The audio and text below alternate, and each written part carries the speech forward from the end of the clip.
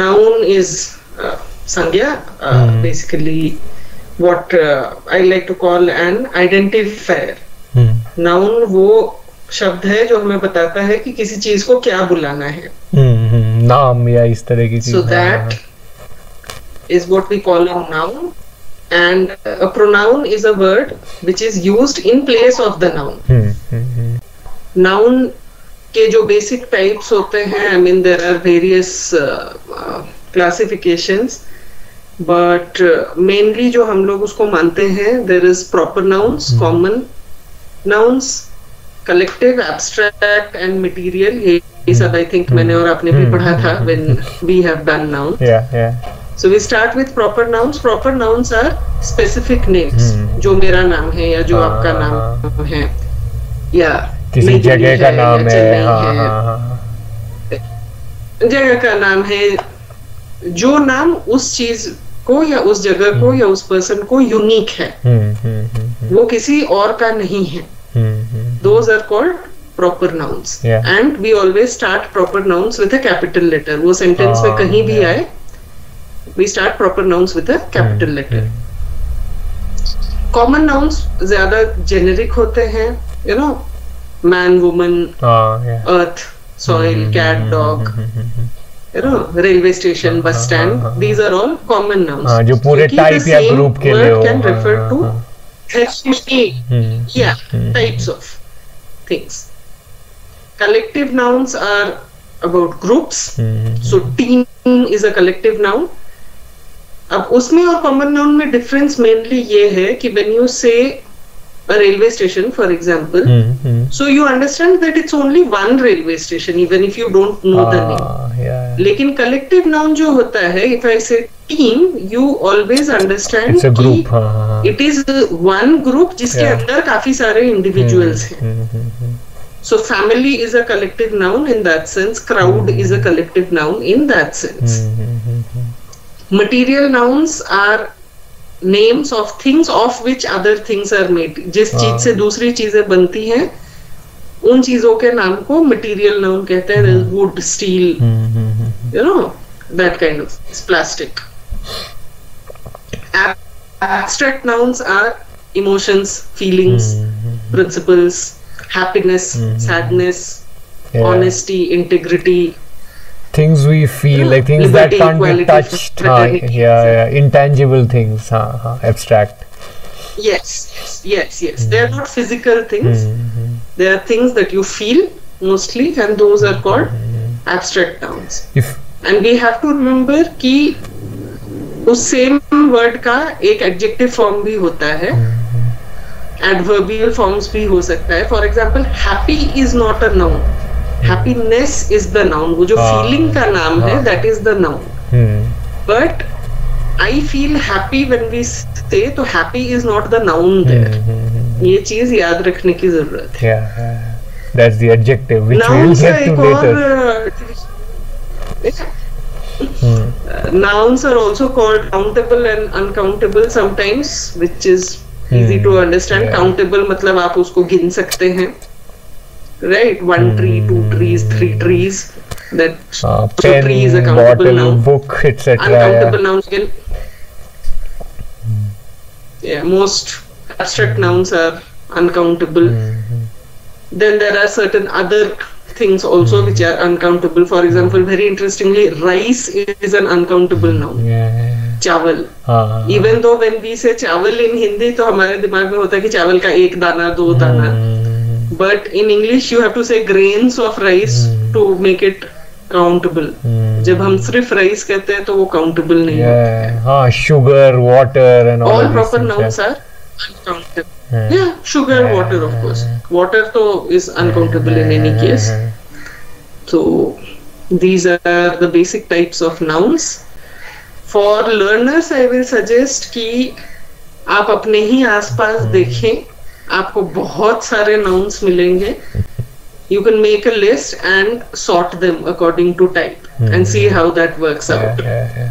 Usual जो थोड़ा confusion होता है common noun and material noun में होता है क्योंकि I mean wood could be common noun also material noun also by definition तो इस तरह की चीज़ें होती हैं but as you work with what you see around you तो उसका आपका अंडरस्टैंडिंग इम्प्रूव होगा। Yeah. कि क्या है और क्यों उस हम्म। चीज़ को ये कहा जाता है और कैसे हम इसको यूज़ करते हैं। Pronouns are words which are use in place of nouns the the most obvious example is one we say I जब हम लोग मैं कहते हैं तो हम हर बार अपना नाम नहीं कहते हैं। तो प्रोनाउंस आर दो words which refer to noun जैसे ईशान है that is a proper noun right फिर कॉमन नाउन हो गया मैन और or a teacher and all of these common Yes. nouns. And finally pronoun Yes. फिर he या फिर I and all of that right? तो पर्सनल प्रोनाउंस वो pronouns हैं विच रेफर टू पीपल किसी पर्सन के बारे में आप बात कर रहे हैं तो in place of using their name जो भी आप वर्ड यूज़ कर रहे हैं that is a personal pronoun so I you we he, he she she it, they yeah. all of these are personal pronouns hmm, एक और तरह का प्रोनाउन होता है जिसको हम कोई चीज़ मेरी है हम्म, या किसकी है वो बताने के लिए यूज़ करते हैं। Those are called possessive pronouns कि this is this is my pen for example yeah. तो इसको हम पोजेसिव प्रोनाउंस होता है। My your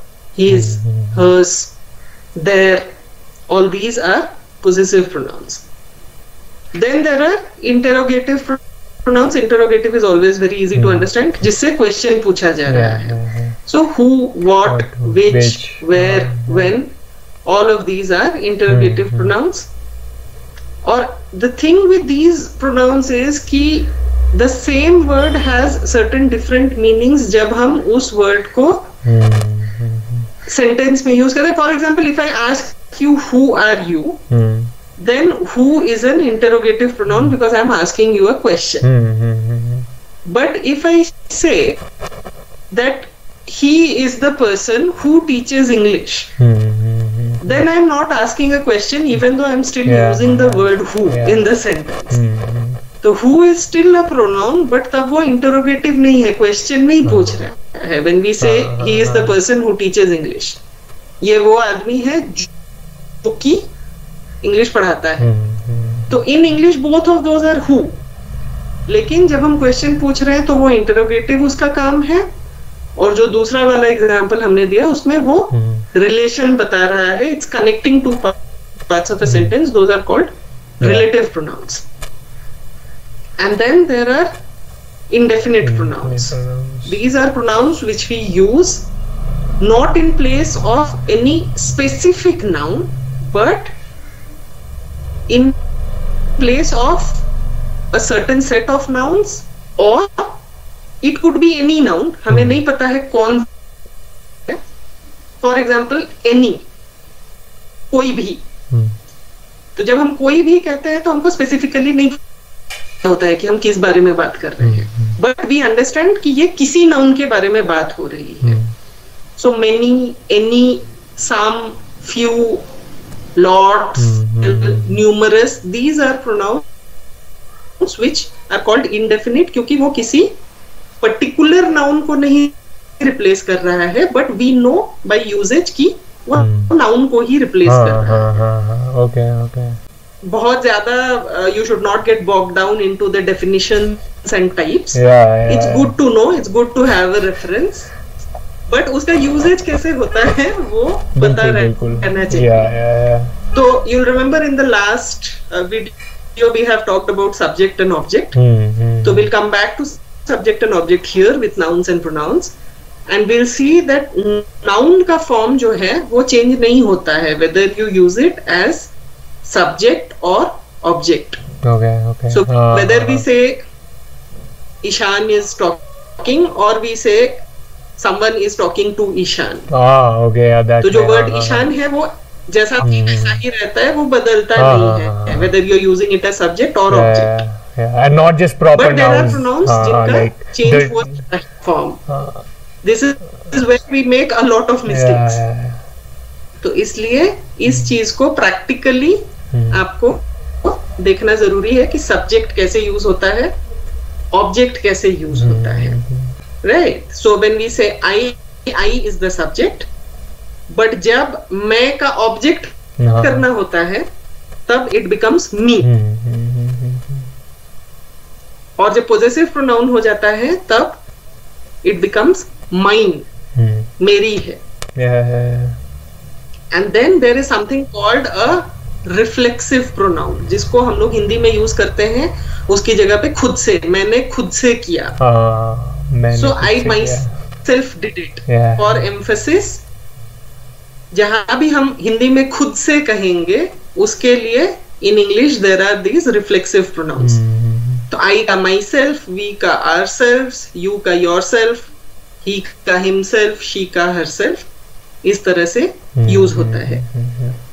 सब्जेक्ट और ऑब्जेक्ट में आई का मी होता है वी का अस होता है you is good pronoun you does not change he का हिम हो जाता है शी का हर हो जाता है हम्म, हम्म, it is also nice pronoun it does not change और दे का देम हो जाता है हम्म, So these are things that we need to practice a little bit. uh, noun will remain the same जैसे Ishan is talking someone is talking Yes. to Ishan the teacher is talking someone is talking to the teacher Yes. but then हाँ I am talking Yes. He is talking to me so like this pronoun Someone all is of this talking to हाँ but जैसे आपने बोला you is a good thing तो हाँ you are talking someone is talking to You you is a good. okay all right all right all right He is giving me Hmm. a book. Hmm. कोई मुझे एक किताब दे है. Hmm. if we say he is giving I a book, तो वो गलत हो जाता है as per English grammar. But would it be just like simple to say कि सब्जेक्ट जो है अब जैसे वो करने वाला है और ऑब्जेक्ट जिस पे कुछ होता है या जिसके साथ काम हो रहा है is that a good enough definition या okay cool cool cool That's a good enough. Yeah, Okay, yeah, yeah, cool. absolutely. I mean that's that is the definition of subject and object. Okay cool You cool know, cool जो करता है वो करता है अच्छा हाँ करता है जो करता है. हाँ ठीक ठीक ठीक ठीक Right. हाँ So